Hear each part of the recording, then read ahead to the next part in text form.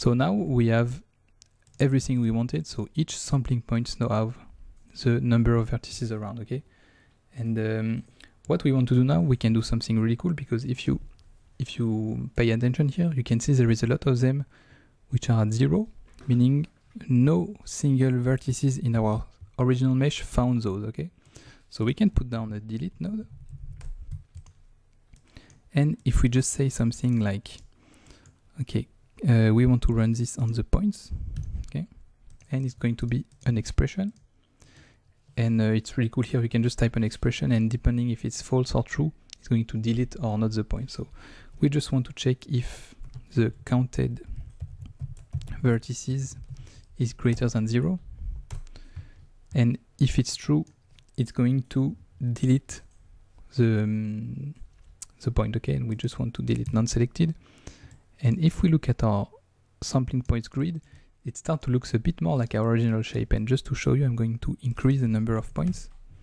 And as you can see, it's really cool because now, if I just go back here, okay, for example, let's take those points. Okay, those points, basically our mesh here, no, no point from our mesh found those points, okay? So, so basically the, their count was zero. So now we can delete all of those and it's well, at one thing it's really more optimized because we don't have to work with empty data basically. And it's also starting to look really cool because you can already do some some cool stuff with it. Okay. So now we need to do something okay? We need to normalize this value and then send it back to the mesh. You will see why. So one way to to normalize normalize uh, the counted vertices attribute from 0 to 1 is to extract the minimum and the maximum value okay? And to do this we will use a node which is really pow powerful which is called the attribute promote okay? Promote. And we are just going to plug this. And we want to promote uh, this this attribute okay? Counted vertices. Remember we are doing this for each of the point. Counted vertices we don't want to delete the, delete the original okay? We want to keep it. So uncheck this. And we want to promote basically it means you can send it from one context to another context. And we want to send it from the point context to the detail context. And detail is really nice because it's, it's basically instead of having one attribute per point you have one attribute for your whole object okay? And the promotion method is because we have a lot of different uh, attributes it's how we want to send it. And we can use just the maximum okay? So that means it's going to find the maximum number in all this list and put it here okay? And we want to change it. We are going just call it simply max okay? So now max is so now we can we know that the sampling points with the most vertices found is uh, has found 260 vertices okay? And uh, let's call it uh, max. And we are going to do the same thing so control c control v i'm going to call this one min. And instead of maximum I'm going to say minimum and then min okay? Okay just let me just a little error. I, I just copy pasted but it was not plugged to the max. So if I just do delete max okay? So I know I have the the max number of vertices. And then if just after I plug another attribute promote and then put minimum and call it min if I just look at my detail I know that the smallest count in the sampling point is 1 and the highest one is 260 okay? And now we have everything we need. So now what we want to do is we want to send some data from the sampling points to our mesh because in the end we will just color our mesh and uh, you will see we'll just use an attribute attribute transfer okay? And this is one of the most powerful node of Houdini. It allow allows you to send data from an object to another object using the position and uh, what we want to do is we want to send data from the sampling points, so second input. And you can just, if you look at the bottom uh, of the network, it just tells you this is the attributes you want to transfer to, and this is the attribute you want to transfer from, okay? So from the mesh, and I'm going to start from the top node, and I'll click to create some anchors. So I'm sending data from the sampling points to the mesh. So now if I display it, I will see the mesh because the mesh is now the first input. And I want to only send only send points attribute and this will be counted vertices. And if I go into condition, I will just remove the distance threshold, okay? And now, if I just put down a color node, this is almost the end. Okay, if I just put it by default, you will see it will color everything white. But if I just, instead of saying constant, I say ramp from attribute. So now I can just put an attribute here and it will try to match, to apply a ramp using this attribute and the range, okay? So the range, we already know it, okay? We have the minimum and the maximum. We just need to access, okay, the, the this, this attribute. So the detail attribute, so min and max, we want to access it from here. And it's really easy, it's a simple, simple um, expression. So if I just on go on the, the first input, so this one, and I just put down detail, and detail is really simple. You have to say, okay, which geometry do you want to access?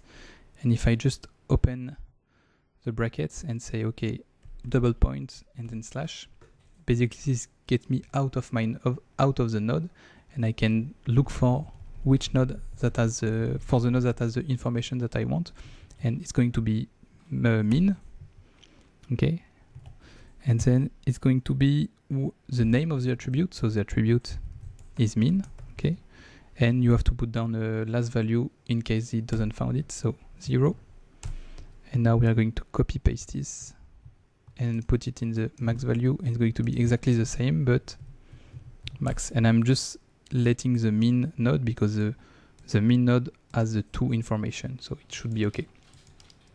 And if we look at our mesh now okay what's happening let's put some nice colors. Maybe a red here okay. So now nothing happening because we didn't put an attribute. But now we know that each point has on the points its point has sorry the attributes which is called where is it? Uh, counted vertices okay this one. So let's put it counted vertices. And if we just play with the ramp you can see it's already working and if you want a nice visualization what you can do is just hit W with the mouse above the viewport. So you will you will go into uh, wireframe mode, and now you can start to just play around with the ramp and just add some colors. And you can see we are getting some really cool stuff. Just going to play a bit around with this.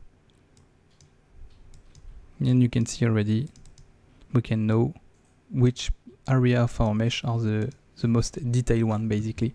And if we go back to the point from volume, we can change this thing, okay? If we change it, the higher we go, basically the the bigger the sampling point space will, uh, the space between each sampling points will be, and we will get something like this.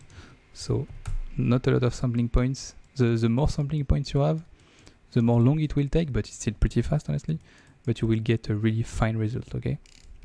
and this is basically it i'm like it's basically done you could add some stuff i think i will maybe if like just tell me in the comments if you want another video because there there, there is a lot of way you could improve this and but it's a bit more complex and i can show you for example how to create um, like a really cool parameters interface to to um, manage the gradient the the space um, of the sampling points maybe also create an interactive uh, selection where you can only select a part of your mesh, for example. One cool thing would be if you input an FBX, you could have an heat map not of the vertices but of the material ID. So it could be some kind of a draw call heat map, you know, that could be really cool. And uh, yeah, that's it. Let's just arrange some stuff. So I'm just going to put down, this will be normalize values. Just add some colors. And there we have basically it's just done. So if you just load another mesh let's load the pig head. You will see that the only thing you have to be careful is the the scale okay? So if i just template my pig mesh it's okay it's the right scale. Let's just put it here i don't need the the transform because uh, the pig mesh is already at the right scale so i can just disable it okay it's the top uh, the leftmost button and now as you can see it's working perfectly so I hope you enjoy this tutorial uh, honestly, it's way longer than I than I planned. I, I thought it would be a really short tutorial, but it was really long and a bit more complex also than what I thought. So if you didn't get some parts, just tell me in the comments. Uh, I will be happy to answer, and uh, I, I will also provide you with the hip file for this and the mesh if you want to try, and I will put down all the expressions that you need in the description. And uh, thank you.